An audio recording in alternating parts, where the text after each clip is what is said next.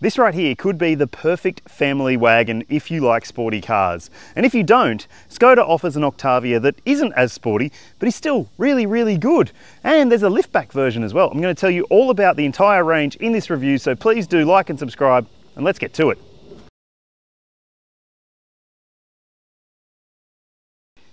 In Australia, there are two different grades of the Skoda Octavia available. The entry-level model is called the Style, and it does have some pretty good pricing. The prices you see on your screen now are national drive-away prices for the entry-level version. And yes, it is available as a liftback or sedan style model and as a station wagon as well. And it comes really well equipped for the money too.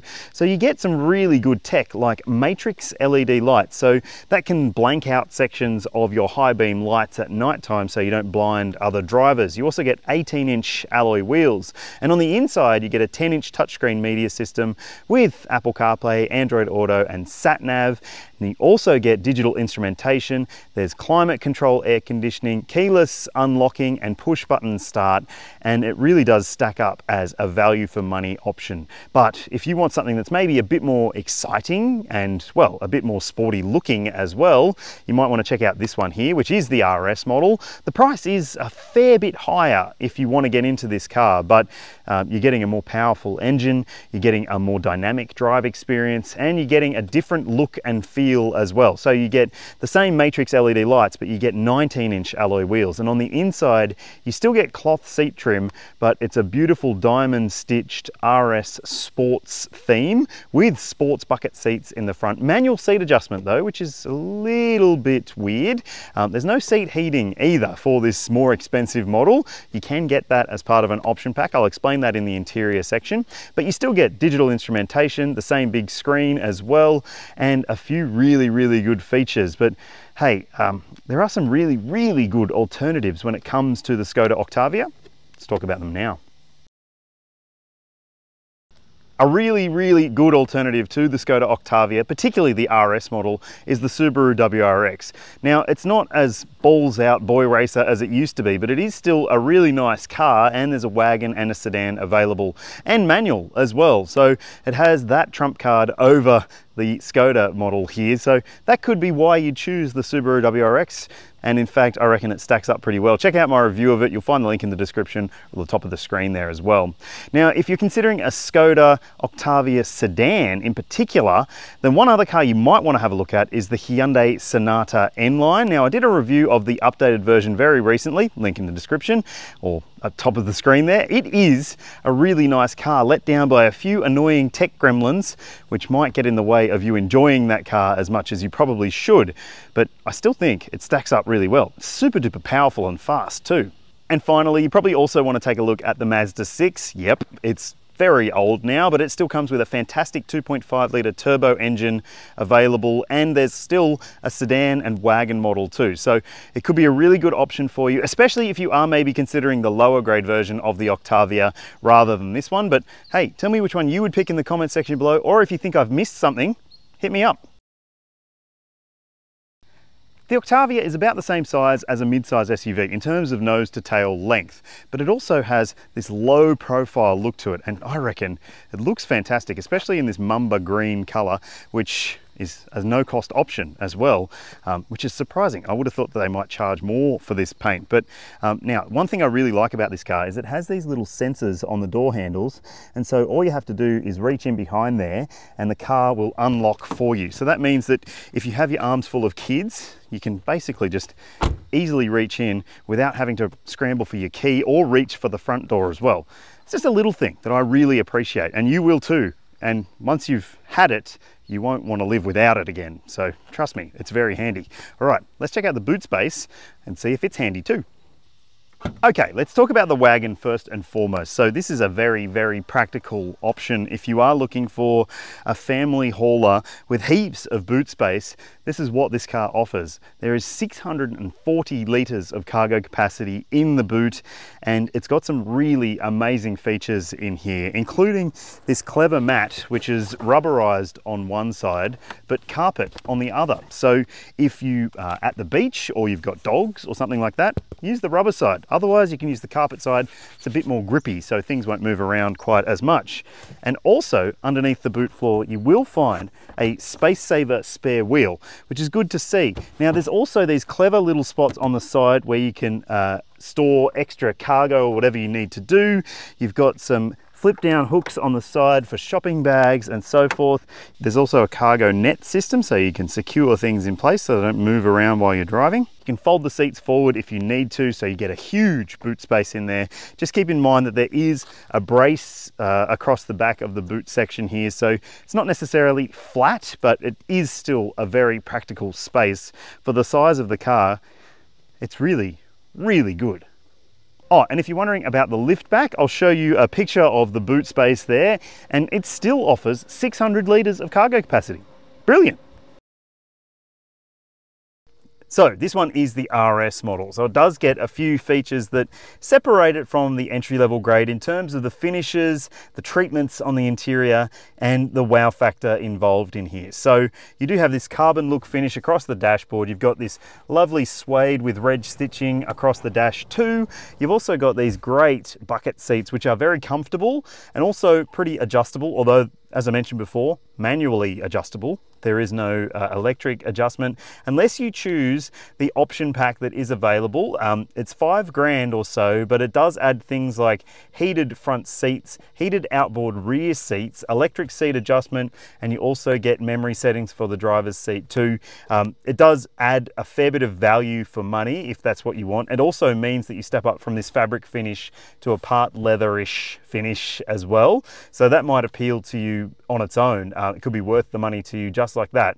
Um, and it also features a uh, lane keeping system that works in traffic jams as well, um, which you don't get as standard. So I don't think that really matters to me, but it might matter to you. All right, so let's talk about this interior more broadly. So apart from these brilliant seats, which are very comfortable, um, there is a fair amount of good stuff in this cabin. So you've got a wireless phone charger, you've got a couple of USB-C ports, you've got this dinky little shifter down here between the seats, which is very handy. Uh, it isn't in the way, which is good to see.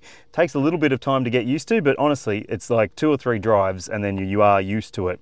What you don't get used to as quickly is the fact that you've got a bank of buttons here for some of the functions that you need to do through the screen.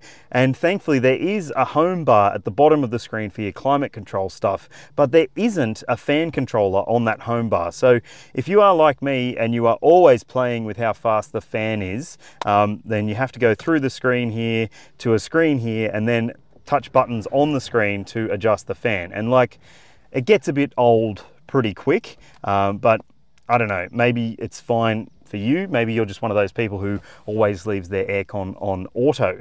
Um, otherwise, uh, thankfully, this time around, I've had absolutely no issues with Apple CarPlay in this car. In the past, in the Skoda Octavia that I had as a long-term vehicle when I was working at Cars Guide, um, I had heaps of problems with the technology in that car, uh, including CarPlay constantly dropping out, but also safety systems constantly dropping out. And I haven't had evidence of any of that over a week of testing with this car this time around. And that's good news. Okay, so Otherwise, the practicalities, you've got a couple of cup holders here. They're not the best size or shape for bigger coffees or bottles in particular, but you do have bottle holders in the doors which are lined as well to stop things from moving around. You've also got some clever Skoda stuff in the doors. So you've got a little bin. Um, it's got no bag in it at the moment, obviously. Uh, and in the driver's door as well, just excuse the beeping, you also get this umbrella, which is handy. Um, trust me, it's handy. Um, but otherwise, I think that the front seat experience is really good. Got a lovely steering wheel to hold on to, good digital instrumentation as well. And yeah, like I said, that screen takes a little bit of learning, but you'll get used to it, trust me. All right, let's see if it's family friendly in the back seat. Backseat experience is good in the back of the Octavia. In fact, it's great. This seat is set for my driving position at 182 centimeters or six foot. And look, I've got enough knee room, enough foot room, good head room. And in fact, I think three of me could fit across the back here. Thankfully, there aren't three of me in the world, but um, there's also some really good features in this car. Things like these little flip down headrests. So if you just want to have a little sleep on the road, you can do that. Very handy.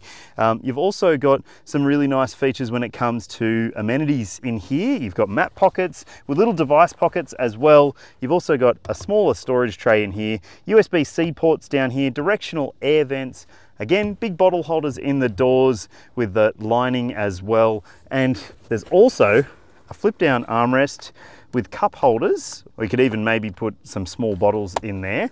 And if you need it, you can also fold this section down and you'll have a ski port as well. So look, it's very, very practical, very, very thoughtful and very spacious. And if you have kids, there are ISOFIX points in the window seats and three top tether points as well. There are also LED lights in the center here, but they point down towards the sides. So getting your little one in or out at nighttime shouldn't be too big of a task.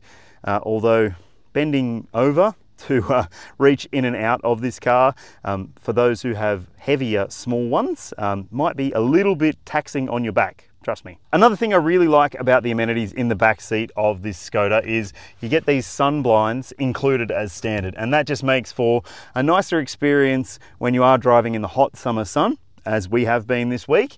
Um, and they might be a little bit thin in direct sunlight, but at least they do help a little bit for little ones keeping out of the sun.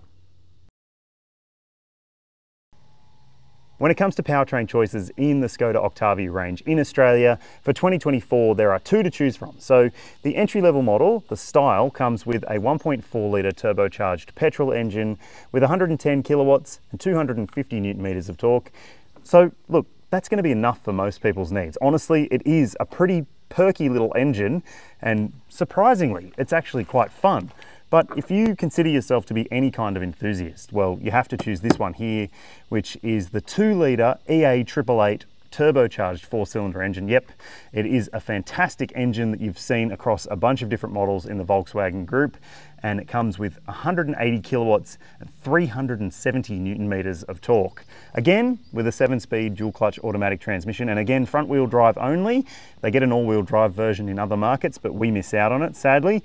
However, it is still very, very quick. 0 to 106.6 seconds for this car. And there's sporty drive modes as well. So Let's go experience that together. I'm going to start off this drive experience in normal driving mode in the RS version of the Octavia, which is perfectly adequate for day-to-day -day driving. It means that you don't get quite as much um, zestiness from the powertrain, and nor is the steering heavy uh, to the point of feeling sporty. Um, it's just a fairly manageable, nice drive experience in normal driving mode.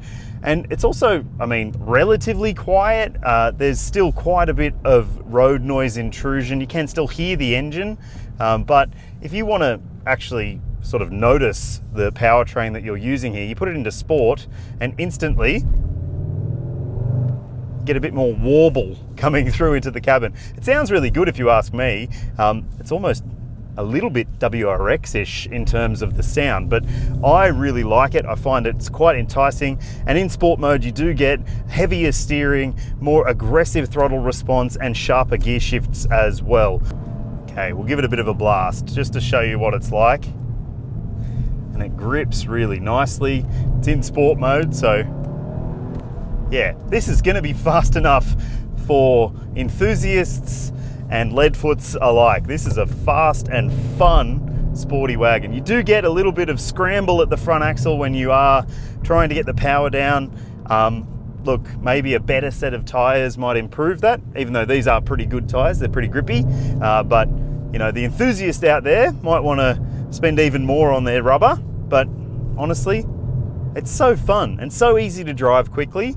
It's also easy to drive slowly, which is probably even better and it does have a really nice ride uh, comfort to it. It is on the firm side of things. It does have sports suspension. So if you don't like a firmer ride, you know, you can feel the wheels hitting sharp edges, for instance, um, then the entry level version is probably going to be a better bet for you. It is a really nice engine and honestly, it's going to be enough for a lot of people out there.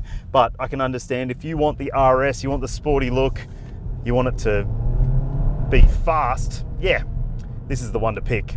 I think the thing I love most about the Skoda Octavia RS in particular is that it does just have this beautiful balance of being a perfectly livable day-to-day family car, but also has that potency if you want it or need it.